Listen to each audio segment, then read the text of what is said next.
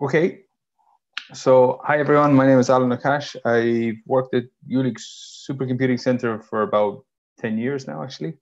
Um, I mostly worked in one of the EU HPC centers of excellence, but I did have, well, I was the one who brought EasyBuild to Jülich, and I also was responsible for one of the big machines there when it was initially installed four or five years ago.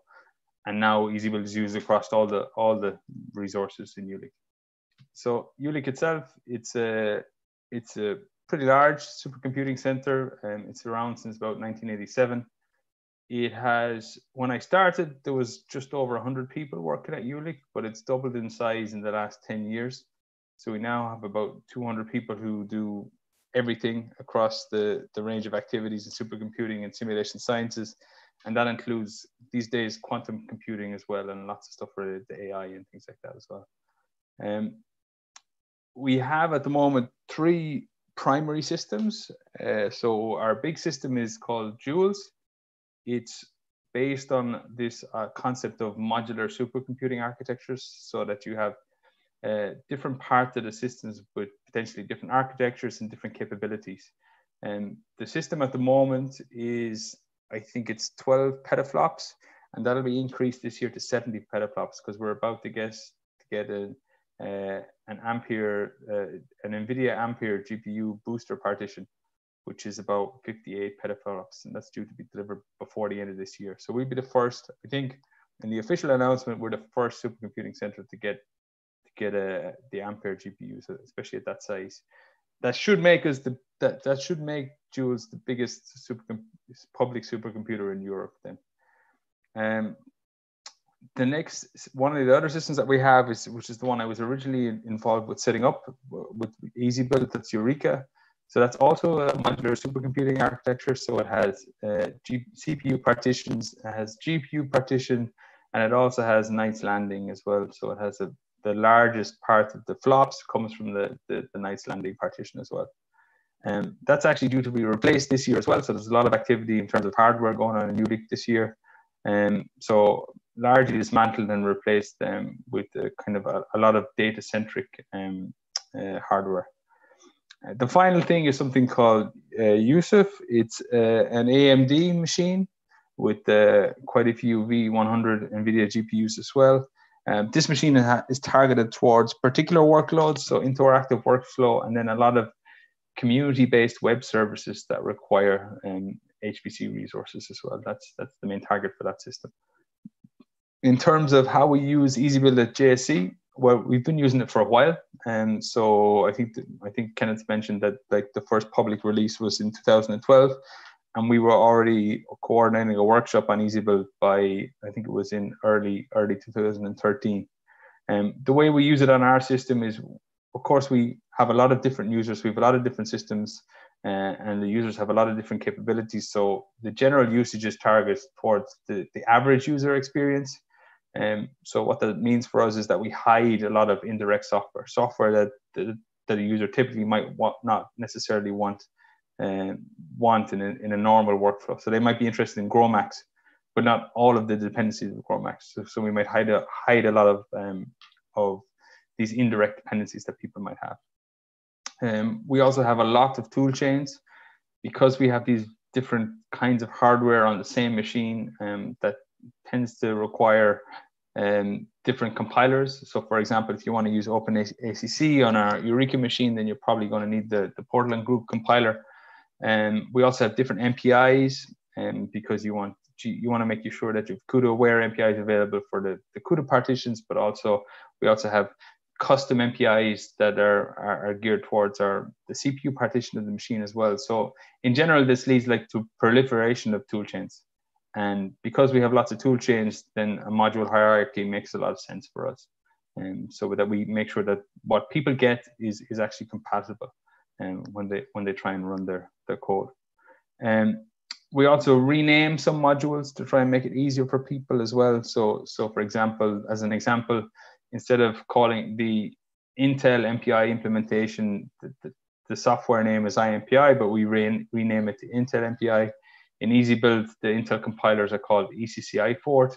Um, we rename those to just call them Intel. Um, and there's a couple of other cases like that, but there's not so many. But the idea is just to make it some names, we just tweak them a little bit to, to try and make it easier for our users. We also do a couple of LMOD tweaks as well, um, just adding some tags to different modules and also changing the way LMOD looks a little bit to the end user as well, just try and make everything uh, as straightforward as possible. Um, we have lots of custom customizations. We've been using EasyBuild since 2012, and it's kind of a little bit as a result of that. So we use our, our, our own custom module naming scheme, which is very heavily related to the module hierarchy, but, but has some slight customizations on top of that. Um, we have lots of custom tool chains that we use because we have our own combinations of, of various things. Um, we maintain our own easy easy config stack um, and that's because our update cycle is not exactly in sync with EasyBuild, and our tool chains are not exactly the same as the ones that are used in the, the distributed um, easy configs uh, of EasyBuild. So we have until now maintained our own set set of easy configs. Um, we also have custom easy blocks. So we don't have too many of those, but we do have some for, for things we do ourselves. Um, in terms of the impact of this, I think really it, it becomes a little bit of a maintenance thing. So it means that we actually have to carry out quite a bit of maintenance. And it also inhibits our ability to contribute back. So if we're using custom easy blocks and or custom easy configs and custom tool chains, it makes it a bit convoluted for us to contribute back to the main repos, especially because our update, update cycle is slightly out. So in terms of things like our dependencies, they might not be, the versions might not be exactly the same as the main repo. So that, that makes things hard. Um, and we're working pretty hard to try and remove this at the moment, right? So as much as possible, we actually want to align ourselves with EasyBuild and just use customizations in other ways. Um, in terms of how we present software to the users, um, so we get new users twice a year. And when new users come on our machine, we only want them to see the latest versions of the software. So we actually have what's called a stages concept.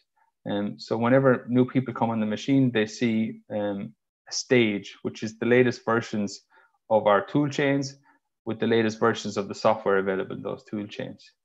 And this gets updated twice a year. So the production view that people see gets updated twice a year. Um, the idea behind this is that it encourages people to adopt the latest software and all the dependencies, and that should lead to hopefully better performance and people not running into bugs that are, that were there in previous versions. Of course, um, we make it possible so that people can can still use old software, right? So it's it just becomes there's a um, a step involved in them getting access to previously installed software. But by default, we want to push people um, to the latest versions of software um, all the time, and we do that twice a year. Um, so yeah, we give indirect access to the retired software. So there's a step involved that they need to do. And this also has an impact on, on module spider as well. So because of the way we present software, when people, when somebody does a module spider, they by default will only look in the current stage. Um, but if they do use a, an additional simple module use statement, then they'll actually have access to all of the software, including all the legacy software.